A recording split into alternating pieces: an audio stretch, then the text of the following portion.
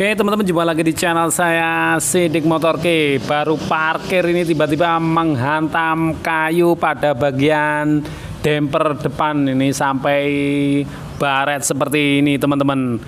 Ini luka kayu yang cukup parah ini pada bagian damper depan sampai baret seperti ini. Oke teman-teman kali ini saya akan coba berhasil atau tidak karena banyak yang menggunakan pasta gigi untuk menghilangkan baret kayu seperti ini. Kali ini saya akan coba sendiri praktekkan menggunakan pasta gigi untuk menghilangkan luka baret. Caranya saya oleskan pada bagian yang luka seperti ini. Teman-teman, kemudian kita ratakan dengan tangan.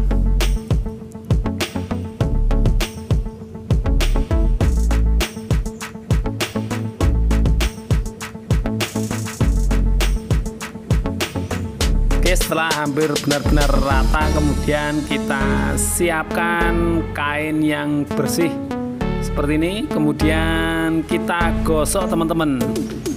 Kita gosok perlahan kemudian ditekan dengan kuat.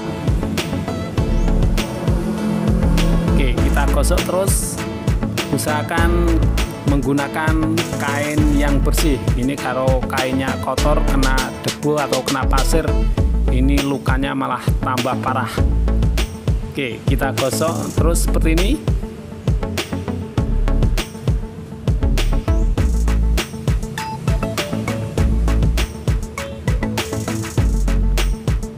Ini sudah lumayan buram ini. Kemudian kita tambahkan lagi pasta gigi ini kayaknya sudah berwarna agak hitam. Ini bertanda cat yang di sini mulai luntur atau menyebar ini. Kita ratakan kita tekan lagi kuat-kuat. Kemudian kita gosok dengan cara berputar seperti ini. Oke, seperti ini kita tambah lagi kalau perlu ini. Tambah lagi lihatnya belum hilang betul. Kita gosok lagi teman-teman.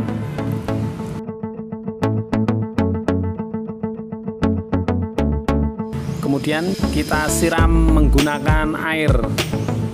Ini untuk terakhir kita gunakan air kemudian kita gosok lagi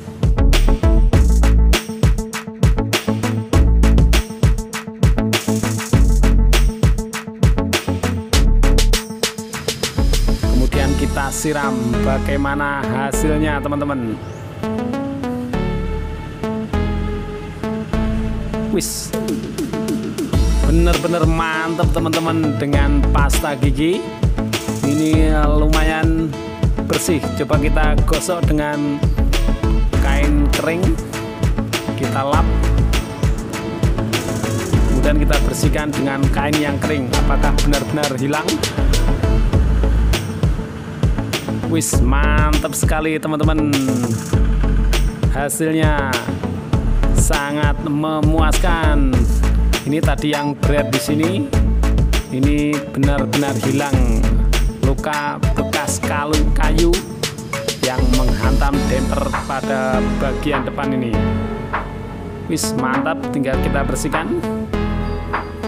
Hasilnya sangat memuaskan. Mantap, terima kasih teman-teman. Semoga bermanfaat.